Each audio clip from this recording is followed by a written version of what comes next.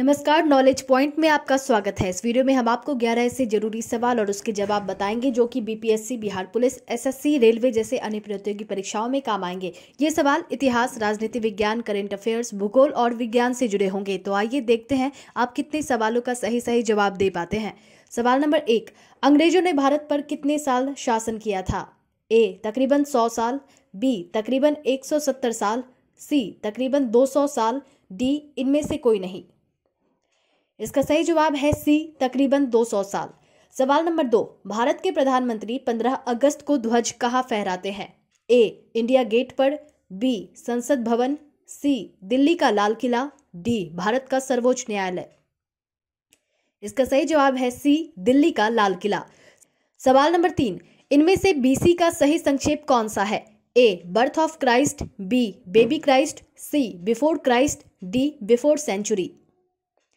इसका सही जवाब है सी, बिफोर क्राइस्ट। सवाल नंबर चार, भारत का मुख्य न्यायाधीश किसको अपना इस्तीफा सौंपता है? ए, भारत के राष्ट्रपति को, बी, सुप्रीम कोर्ट के वरिष्ठतम न्यायाधीश को, सी, स्पीकर को, डी, कानून मंत्री को। इसका सही जवाब है ए, भारत के राष्ट्रपति को। सवाल नंबर पाँच, अनुच्छेद पाँच से लेकर ग्यारह तक का संबंध किससे है? ए, संघ और राज्य क्षेत्रों से, बी, मौलिक अधिकार से सी, नागरिकता से, डी, इनमें से कोई नहीं। इसका सही जवाब है सी, नागरिकता से। सवाल नंबर छह, इनमें से कौन सा शब्द भारतीय संविधान की प्रस्तावना में नहीं लिखा है? ए, संप्रभु, बी, समाजवादी, सी, राष्ट्रनिरपेक्ष, डी, लोकतांत्रिक। इसका सही जवाब है सी, राष्ट्रनिरपेक्ष। सवाल नंबर सात, किस वैज्ञानिक ने इलेक्ट्रॉन की खोज की थी? A, Galileo, B, Einstein, C J J Thomson, D C R T Wilson. इसका सही जवाब है सी जे जे थॉम्सन।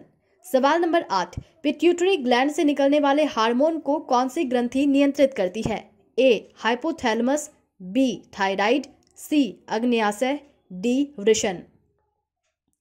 इसका सही जवाब है ए, हाइपोथैलमस। सवाल नंबर नौ भ्रष्टाचार अवधारणा सूचकांक 2021 में 180 देशों की सूची में किस देश को पचासीवा स्थान मिला है? A, Nepal, B, Bangladesh, C, Bharat, D, Pakistan. इसका सही जवाब है सी, भारत। सवाल नंबर दस, इंडिया गेट से अमर जवान ज्योति को स्थानांतरित किए जाने के बाद अब वहाँ किन की प्रतिमा स्थापित की जाएगी?